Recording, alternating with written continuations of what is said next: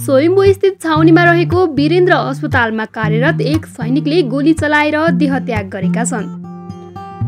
बैतडीको सुरमा गाउँपालिका पाँच घर भएका डम्बर बहादुर विष्टले गोली चलाएर देहत्याग गरेका हुन्। छाउनी अस्पतालका कार्यरत एक अधिकृतका अनुसार छाउनी अस्पतालमा मेडिकल कोर्स गरिरहेका विष्टले गए राति पौने बाह्र बजे ड्युटीमा रहेको बेला देहत्याग गरेका हुन्। आफ्नो साथमा रहेको एचएलआर चलाएर विष्टले आफ्नो छातीमा एक राउन्ड गोली हानेका थिए। गोली लागेर भुइँमा ढलेका विष्टको घटनास्थलमै निधन भएको हो। विष्टको दरबन्दी दुर्गा बक्स गण नारायण हिटी हो। केवल सम्झना मात्रै रह्यो मलाई पागल नभन्नु है। मेरो बाध्यता र समयले यहीसम्म पुर्यायो। बैतडी स्थायी घर भएका नेपाली सेना प्युठ डम्बर बहादुर विष्टले फेसबुकमा निधन अघि लेखेको मार्मिक स्ट्याटस हो यो। जिल्लाको सुरनयाँ गाउँपालिका वार्ड नम्बर पाँच घर भएका विष्ट स्वयम्भू स्थित छाउनीमा रहेको वीरेन्द्र अस्पतालमा कार्यरत थिए।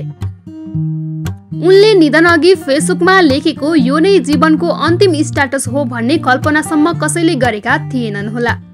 तर त्यस्तै भयो। उनी छातीमा गोली लागेको अवस्थामा मृत फेटिए।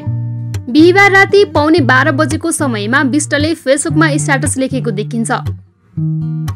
विष्टले कलिलै उमेरमा देह त्याग गर्ने अप्रिय निर्णय किन लिए?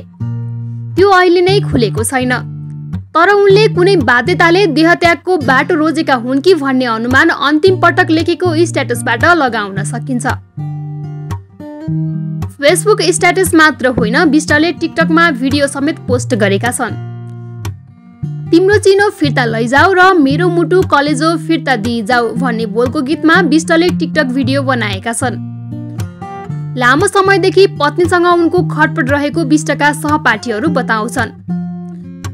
उनी आफ्नै साथीहरूलाई पत्नीसँगको सम्बन्ध पनि राम्रो नभएको सुनाउँदै आएका थिए।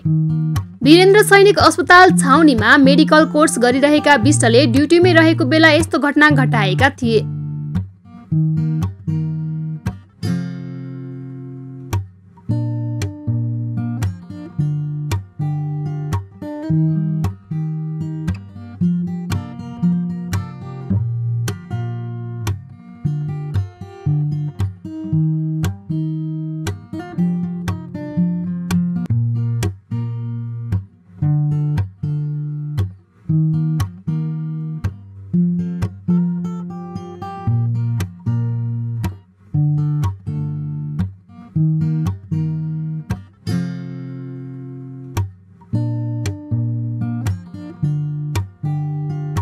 you